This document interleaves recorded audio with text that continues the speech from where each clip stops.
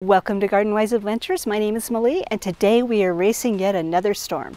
It is kind of really cold but a quite pretty day even though it is overcast. It's pretty because it's one of the last days it looks like in the next couple of weeks that we're going to be able to be outside doing anything. We've got several storms coming up. We're just barely starting to melt the snow from the last storm. We got probably a good two inches here and it was great. Now it's kind of odd in November to have snow not melt immediately or by the next day. So it's been a little bit cooler, I think, this November than normal, and it's also been very much wetter, which we really, really need. I live in Utah, which is technically zone 7, but we have a lot of zone 6 winters. And I normally figure the end of my gardening season, I should have everything cleaned up by Thanksgiving, because after Thanksgiving is usually when the ground is frozen and we end up having snowstorms where the snow just sticks on the ground and doesn't leave for a while. So today is the day that I'm going to try to get my bulbs planted. Now, I am suffering the problem that most gardeners suffer, and that is having less property than I actually think I should have, and I end up ordering way more stuff than I need. Now I'll show you some pictures of my bulbs that bloomed last year and how many that I have.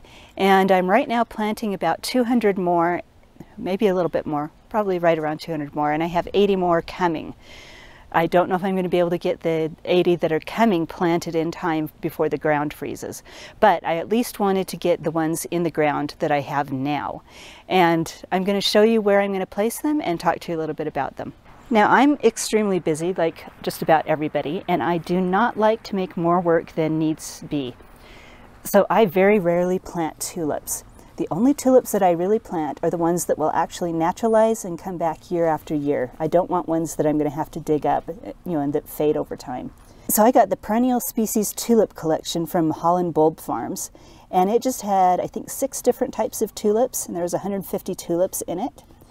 And all of these will come back year after year and will naturalize. So I'm going to plant four varieties on this side. Now this is on the side of my driveway and I think this will be really pretty right through here. I also got some hyacinths and I'm going to just be planting those on the corner. There are only 25 hyacinths in the bag and these were the ones that I got at Home Depot. Now I've planted Home Depot bulbs before and have had pretty good success. They're definitely not the top quality bulbs that you can get, but I've never really had any issues with them. So this is the area where I'm going to have some of my tulips and some hyacinths.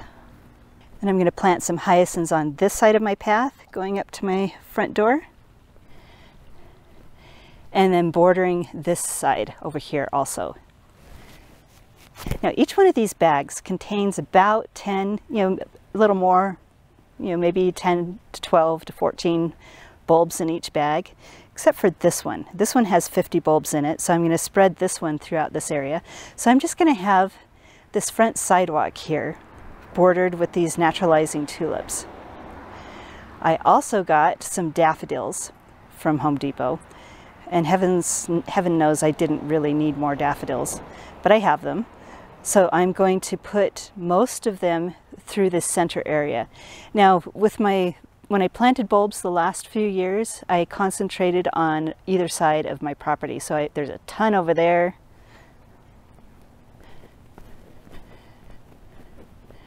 There's a ton over here in this bed. And then there's like two or three clumps through here. So these bulbs are just going to be put in this area so there's more, more daffodils in this area, in this middle section.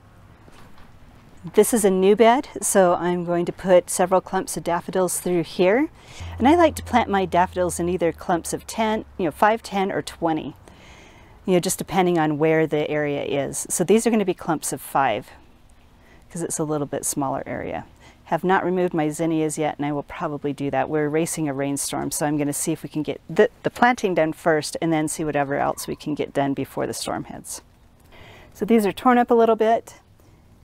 This is a daffodil all-in-one mix. There's a bunch of different daffodils blooming different times of the season. And then there's the papillion mix because I really like the, the, the wide, wider coronas. And then there's my hyacinth bulbs. Now I don't have the planter attachments that go on a drill, so I just use a shovel. And what I like to do if I have several different bulbs to plant is I like to go dig the holes first, make them big enough for 10 bulbs or however many I'm going to put in there, throw in the fertilizer and then go plant the bulbs. So let's get digging first.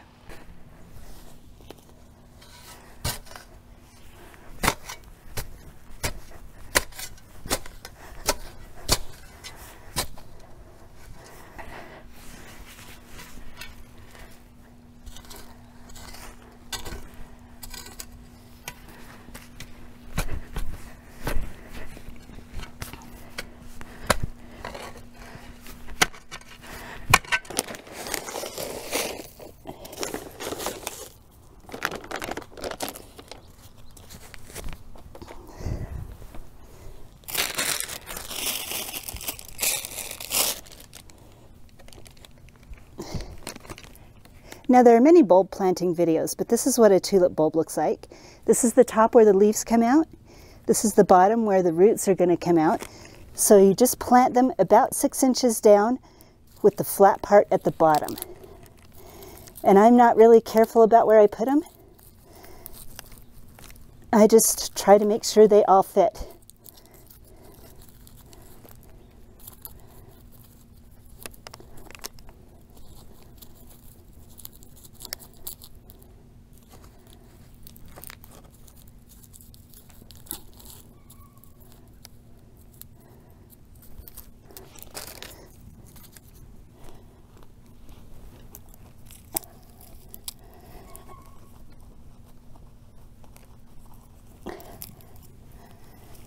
And then I cover them all up. Tamp it down.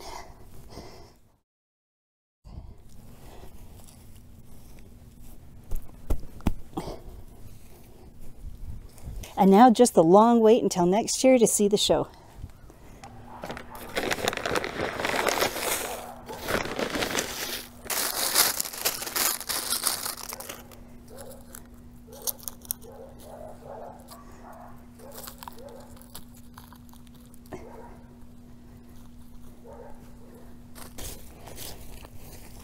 There we go. This side is all planted up.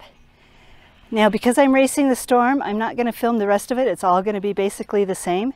So I will get the rest of them planted and be back. Well, we got my planting done just in time for the rain to start. And for the approximately 20 to 30 holes that I dug, you can't see anything.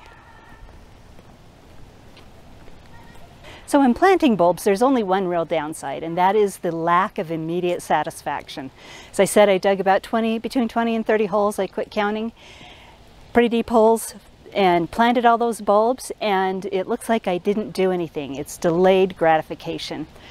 But I am excited to wait for next year. So that gives a lot of anticipation for next year, waiting for those bulbs to pop up and we get to see all the beauty.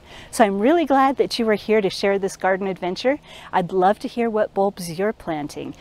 Are you able to plant the regular tulips? Do you love planting those and then digging them back up? Or what do you do with your tulips? Do you leave them in the ground? And how many of you have planted the naturalizing tulips? I think they're really, really gorgeous. They're not the same as the normal they're not the same as the larger tulips, but they still are really, really pretty on their own. So I hope this video has been helpful to you. If it has been helpful, I hope you like, subscribe, share it with your friends, and go have a wonderful garden adventure.